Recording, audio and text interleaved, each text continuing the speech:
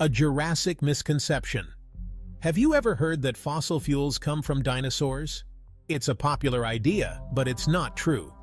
Fossil fuels do come from ancient life, but not the giant reptiles we picture roaming prehistoric landscapes.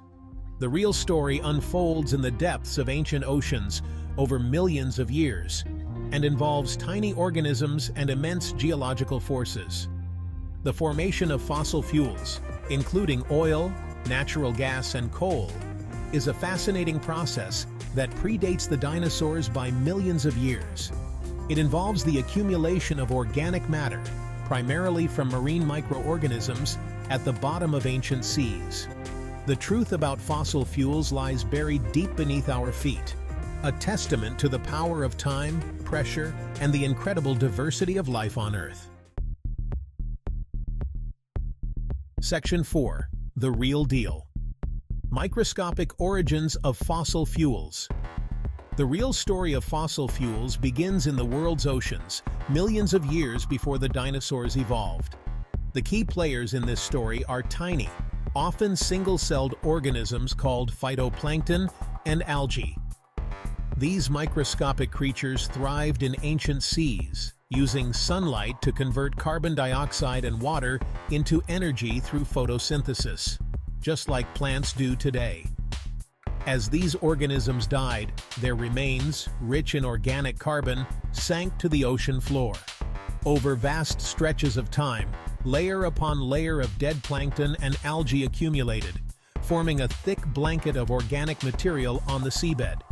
This process, repeated over millions of years, created massive deposits of organic-rich sediment.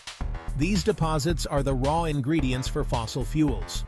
However, the transformation from organic matter to the energy-rich substances we extract from the Earth requires a specific set of geological conditions and millions of years of further processing.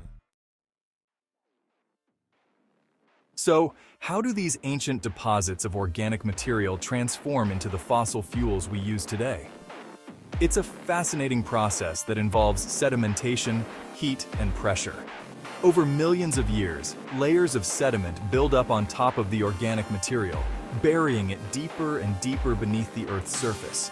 As the depth increases, so do the temperature and pressure. These conditions cause the organic material to undergo chemical and physical changes, breaking down into simpler hydrocarbons. Depending on the specific conditions, these hydrocarbons can form coal, oil, or natural gas. It's a slow, natural process that takes millions of years, but the result is the energy-rich fossil fuels that have powered human civilization for centuries. As we look to the future, it's clear that we need to transition beyond the age of fossil fuels.